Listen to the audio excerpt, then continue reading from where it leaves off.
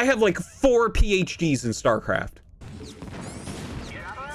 Like four of them. Literally. Come on. Come on. Come on. We're not even joking here. So fucking stupid. The amount of time it takes you to go through school. Why the why the I'm a fuck fucking doctor. Did my medics just that operates on people? Ah! I've done that like four times with Brood War. I was actually wrecking this guy.